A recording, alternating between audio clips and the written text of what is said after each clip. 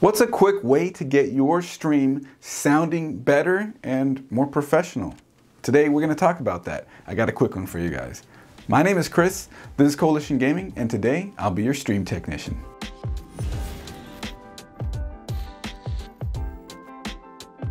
Real quick, if you're new around here and are into tech, PC, hardware, gaming, stream tips, tutorials, news, and reviews, you're in the right place. Hit that subscribe button and that bell so you don't miss a single upload. And also, I stream to Twitch every Friday at 8 p.m. Pacific at twitch.tv slash coalition gaming crew. So feel free to stop by, drop a follow, let's talk some tech. Anyways, let's get to the video. So it goes without saying, a lot of the time that anyone wants to upgrade their stream, they start looking for all sorts of accessories. A better camera, a better computer, a better, you know, something through a capture card, uh, a mirrorless, better lights, all that sort of stuff. One of the things though that gets searched for the most is a better microphone. A lot of people think a headset mic isn't enough or won't cut it. A USB webcam microphone definitely won't cut it. I, I, guess maybe unless it's the one off of the AverMedia PW513. If you guys want to see what that sounds like, uh, we got a review of that linked right up here and in the description below. So a good microphone on Amazon or a good USB microphone that you'll find anywhere, honestly, Best Buy, Amazon, eBay, AliExpress, whatever, a lot of the times they tend to be condenser microphones. And the problem with condenser microphones is they're designed to be used in a quiet room with not a lot of noise because they pick up everything, as uh, I'll talk more about as we get further into the video. But long story short, affordable microphones and good sounding microphones that most people end up going with tend to be condensers because the choices for dynamic microphones is uh, a lot more limited. So if you have a condenser microphone and you want your microphone on stream to sound a lot better because you have a noisy room, you have a mini fridge, an AC unit, a ceiling fan, a loud computer, kids running around, the TV in the background, different things like that, and you don't necessarily want to use something like RTX voice because you don't have an RTX graphics card. Rather, I guess NVIDIA broadcast because RTX voice will work.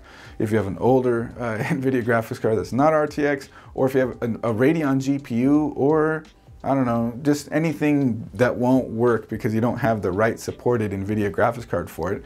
This applies to every computer, every configuration, because it's inside of OBS Studio where you are doing your streaming from. And it's called noise suppression. One filter, real simple. Let's get down to the desktop and I'll show you guys how to do it. So here I am down at the desktop and right now I don't have any kind of noise rejection or noise suppression, compressors, limiter, any of that stuff. I don't have any of that turned on in the microphone. The ceiling fan is on kind of high because it's a little warm in the room. The mini fridge is fridging and I can hear it doing its thing. Um, and it's probably coming through somewhat in the mic. And even if you're just like casually doing stuff, uh, like in the area if you're moving things around, you know, moving a cup around a little bit. Oops, making some noise over there. My other computer just turned on back here. That all comes through the mic pretty clearly, especially if you have a condenser microphone. The thing with condenser microphones, which by the way are the majority of all microphones that you're going to be finding on Amazon that are cheap, that are USB, and uh, that are just commonly out there. Even headsets use uh, uh, condenser microphones on them, so they are everywhere. The thing with uh, with condenser mics is they're designed to pick up everything. like, I can, like I'm getting at here, they want to be able to pick up as much as they can. Uh, and it's usually pretty good quality most of the time if it's done well. Problem with that is if you're picking up as much as you can, you're picking up background noise and everything else around it too. They're supposed to be used in a quiet room, a sound treated room, stuff like that. So it's pros and cons with that, and that's why some people talk about dynamic mics being the better microphone in a louder environment. Concerts, those microphones you see up on stage, you have all that noise from the crowd, the band, the speakers, all that. What they use on stage, dynamic microphones. And that's one of the re- one of the ways that they deal with rejecting all that noise. So OBS has features built into it to help deal with that. And man, do I love these features. Every time I go into a stream of somebody that I know or other people that I don't know, or just to help out anyone. And I can hear just so much noise, background noise in their microphone. I'm like, hey, real quick, just do this. It's really going to improve the sound of your stream. It may come at a slight cost to your voice quality with it, but that slight hit to your voice quality, in my opinion, is worth it because constant background noise can be so off putting when you're watching a streamer that ah, it's just like that is kind of a, like the effect that you get when you know you're watching an amateur streamer, so to speak. You know, so somebody who's new to the game and you can just hear everything in the room around them. And it, it kind of hurts the ears a little bit. So I tell them to do the following steps.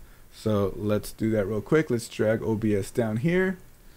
So now we're capturing the desktop. There's your infinite loop. And uh, so you see the mic aux bouncing around right here. So you want to click the gear. You want to go to filters and hit the plus sign. There are two types of noise suppression. Here, right under noise gate is noise suppression. This is really the only thing you need to do. One simple thing. And that'll be great for the majority of people. Press OK. There are two, Speex and RN noise. Speex is the old way that they used to do it, which honestly, it's great. I usually do it to minus, uh, 25 so it's a little less impact on the vo voice voice quality. And here we go, the Speex microphone uh, noise suppression filter.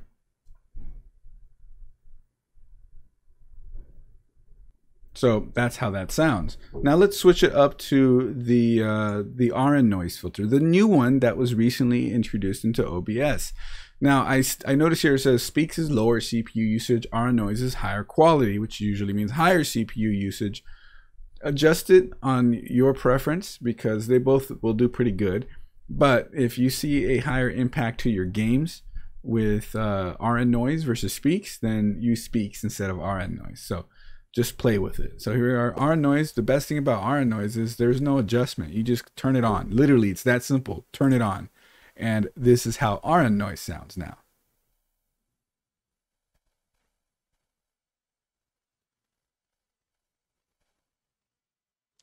if I could see it down in the bar right now. Let's come up here. I can see it down in the, the, the bar. You'll see that the bar just shoves the microphone into a quiet mode. Essentially, if it's not hearing anything, it turns the volume all the way down. And as soon as you start talking, boom, right back. And it's not it's not jarring. That's my favorite thing. I hear a lot of streamers who have set something up like that and they have a lot of background noise and it's quiet when they're not talking and then when they talk, you hear all the background noise with them talking, and then they stop, and then it goes away. And then they talk, and it comes back. So it's like waves. So you're listening to them, and it's like this in in terms of background noise, and it's a little off-putting. But I think this works a bit better than that. And then real quick, my own little mini review of how that sounded. Um, I actually like the old noise suppression method better. Now I think there's some weird bumping noise that I was hearing, and it might be because my ceiling fan and it's like buffeting air at the microphone, something like that. I don't hear any banging outside or anything, so it's like I said, condenser mics are super sensitive. The noise suppression one to me sounded a bit better with how it just sort of rejected noise, whereas the RN noise was that style that I was sort of saying is kind of off-putting, where it's quiet and then it's voice with noise and then quiet. So uh, I think I'm gonna be switching back to the old style noise suppression. Hey, what do you know? Ended up being pretty simple, right? One quick little trick in OBS is it, it makes such a huge difference for people uh, to have a better sounding microphone on their stream. And you don't need anything fancy. You don't need any extra software. It's all right there inside of OBS. Who doesn't love OBS?